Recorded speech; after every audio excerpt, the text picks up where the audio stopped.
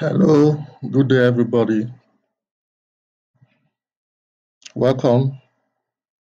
We'll be looking at the third series on why programming can be easy. The reason I believe programming can be easy. So if you've been following the previous two papers, you would have been familiar with the pattern of each slide. The reason for this paper is to encourage anyone interested in being a software developer and secondly to show some similarities between human language or human society and programming language. Terms used in this paper lowercase pl means programming language, lowercase hl means human language, uppercase hl means human life, Words in double quotes are words you should pay more attention to the spelling.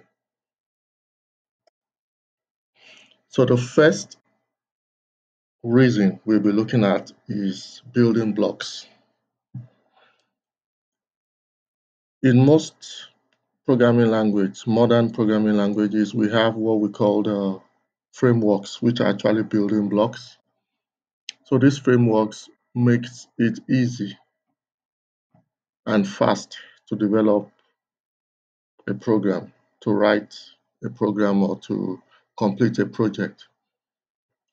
The building blocks will come with tools that would undo most of the commonly expected uh, tasks when you are building an application. So popular frameworks include Django and Flask, which is used in the Python environment, and uh, of course React, which is used among uh, JavaScript developers.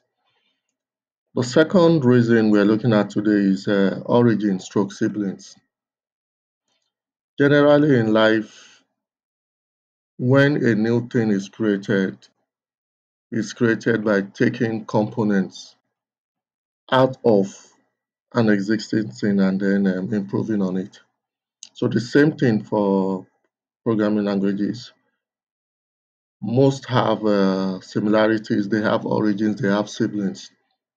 So what you need to do when getting into software development, once you are able to master one programming language, you can easily move to the similar programming language and then use the knowledge you have from the first programming language to start developing on the second and, or with the second programming language. So origins or siblings includes um, Scala, from Java, Visual Basic for applications from um, um, Visual Basic, C Sharp from Java again, Lisp and Clojure, Pascal and Modula. So these are examples of uh, languages that are very similar because one was modeled after the other. The third point is uh, graphical user interface GUI so similar to an architect's drawing board or an artist studio, most uh, programming tool comes with uh, the graphical user interface, which is very similar to an architect's drawing board or an artist studio. So just picture an artist studio. There are various tools the artist will have to pick when he or she needs to draw paint, erase, color, and do several other things. So the same thing applies to programming. The GUI comes like a studio with all the necessary tools that you just pick, drop, and then start doing what you need to do. So this is actually the reason why some programming language end their IDE with the name Studio. Example is Visual Studio, Android Studio, Aptana Studio. So the fourth point I would mention today is error handling. Now, in real life, the role of a public relations officer includes, or in fact, it, the major role is actually to keep a good image of a person or company, even when the person is having a bad character. Now, in programming language, we have our own PR mechanism. By this, I mean, even if a code is going to have an error, we have what we called the try catch error block statement, which is common across um, most of the programming languages. This allows you to be able to trap an error. The error is existing or might exist in real life or during um, the user working with the program, but is not visible because you've created something inside the program to prevent the error from really throwing out and then to ensure that the program keeps on running. So this is an example of um, the PR in modern world is what we call the try-catch error. The next point, which is the fifth point I want to mention is that in human life, objects can have similar attributes. E.g., a football team will have a coach, an assistant coach, a captain, a goalkeeper, etc. These are common to most football teams. So in a tournament, you expect this set of people to be present in each team. Now, in PL, we know how to handle such, and we do that by creating classes and defining the attributes of each class.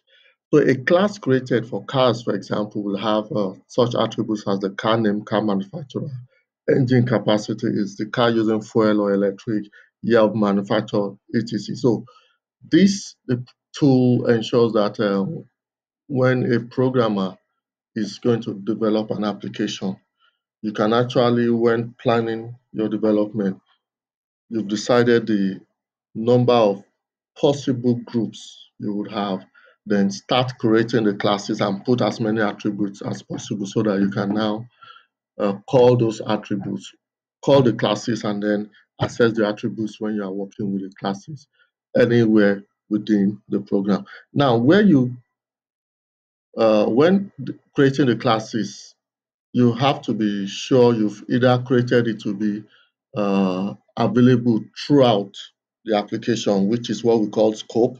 I discussed about scope, public, private in um, one of the previous two lectures, so please look at it to understand what scope is. So the scope of a class will uh, ensure that the class is visible throughout the program or just within uh, is a particular module.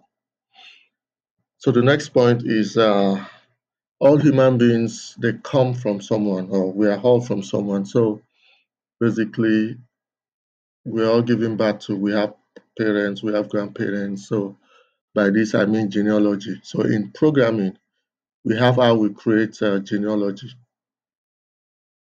And this is what we actually called inheritance. So what inheritance does is uh, it makes it easy for us to reuse items or objects or classes by creating new items from existing ones. So you are not uh, going to be redoing or redefining everything from the scratch every time. If you've planned your program well, create the possible classes, you can then, when creating new classes, use inheritance as a means of creating the new classes from the existing um, classes and then assessing attributes and then you know go on with your program makes your development fast in fact it also makes your your program clean because you can now um, have a form of trail that these are the classes these are where these particular classes um, inherited from so that you can if need be make corrections to the codes